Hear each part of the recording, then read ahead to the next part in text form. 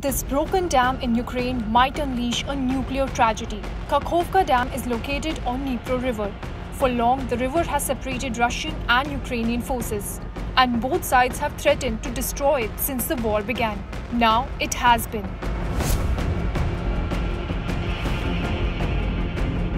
Ukraine is accusing Russian forces of blowing up the dam підірвати її е, якось ззовні обстрілами фізично, і це нереально.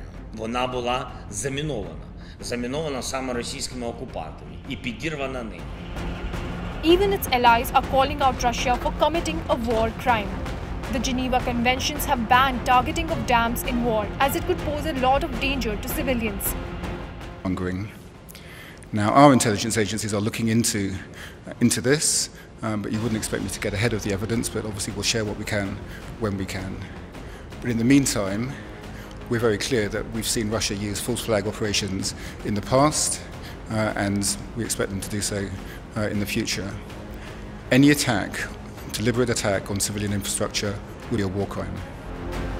Russia, in response, is accusing Ukraine of destroying the critical infrastructure. The Kremlin said Ukraine did it to distract attention. Предпринятая Киевом преднамеренная диверсия против объекта критической инфраструктуры носит крайне опасный характер и, по сути, может быть отнесена к разряду военных преступлений или теракта.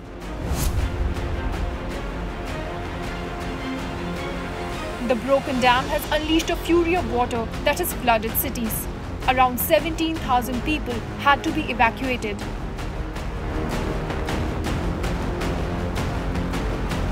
Розпочалася евакуація мешканців небезпечних районів. Всі служби працюють. ДСНС, поліція, військові всі поруч. Прошу зібрати документи і речі першої необхідності і чекати автобусів евакуації. Окремо звертаюсь до мешканців лівого берега.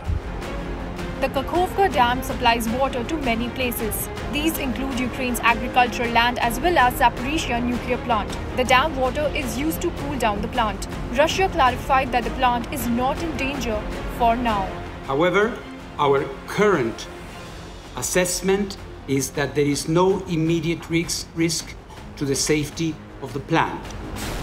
In the middle of an already intense war, this destruction is an added humanitarian disaster. A new disaster in a war that does not seem to end.